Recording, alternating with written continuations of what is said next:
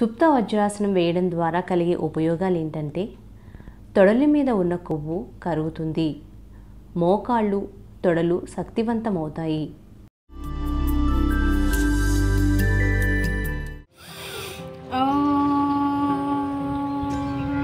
శ్రీ గురుభ్యో నమ.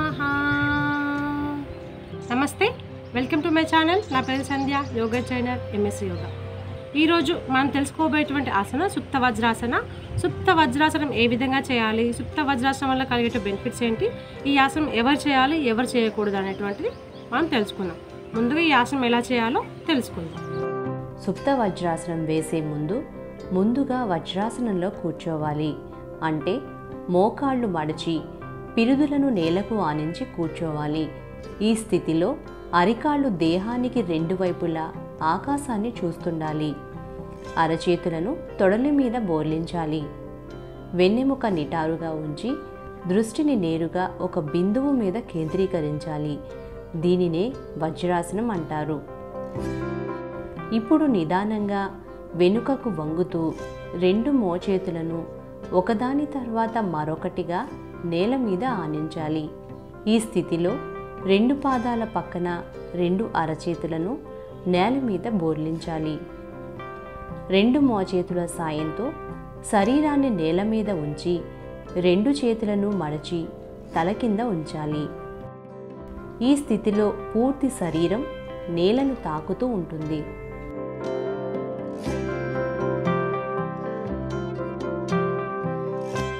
శ్వాస సాధారణంగా తీసుకుంటూ వదలాలి. ఇలా ఉండగలిగినంతసేపు ఉన్న తర్వాత మోచేతుల సాయంతో దేహాన్ని పైకి లేపుతూ సాధారణ స్థితికి రావాలి. ఇలా ప్రతిరోజు మూడు నుంచి ఐదు సార్లు చేయాలి.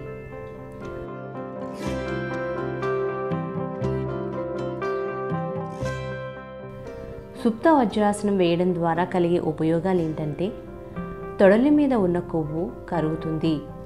మోకాళ్ళు తొడలు శక్తివంతమవుతాయి.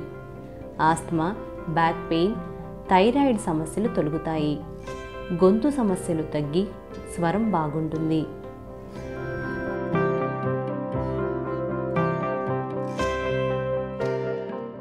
సుప్త వజ్రాసనం వేసే సమయంలో కొన్ని జాగ్రత్తలు పాటించాలి.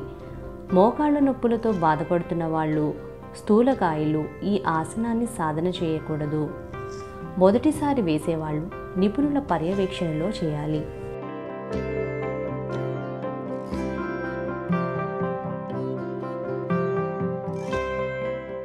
మీకు కనుక ఈ వీడియో నచ్చినట్లయితే లైక్ చేయండి కామెంట్ చేయండి షేర్ చేయండి. అలాగే మీరు కనుక నా ఛానల్ మొదటిసారిగా చూసినట్లయితే సబ్స్క్రైబ్ చేయండి పక్కన బెల్ ఐకాన్ క్లిక్ చేయండి. Thank you.